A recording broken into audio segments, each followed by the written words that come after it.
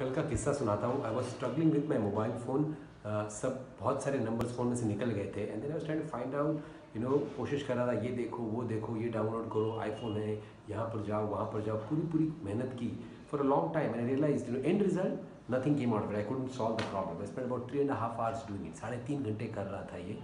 And idea realise thinking of it you know since I started doing things to fix it I thought I could fix and then since I invested half an hour ऐसे भाई अभी इतना आधा घंटा डाला है, थोड़ा और टाइम डालता हूँ, maybe I able to fix it after one hour I am thinking भाई, एक घंटा निकल गया, अभी तो इतना टाइम डाला है, थोड़ा और डाल दो maybe I get an answer क्या putting that time putting that time because you ऐसे इतना वर्क डाला है, कुछ ना कुछ में से बाहर निकले और एंड रिज़ल्ट कुछ बाहर नहीं निकला।